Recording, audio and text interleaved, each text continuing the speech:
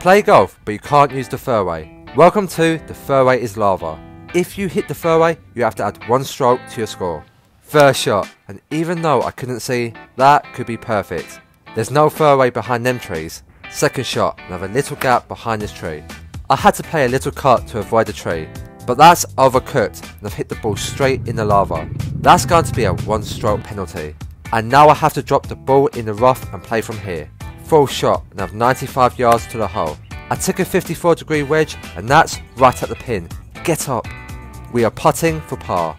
Can I make par by missing the fairway? It's a pure putt but wrong line. Whoa, hold your horses, I've got some work left to do. And that's a cheeky nullet tap in for bogey. Guys, what's next?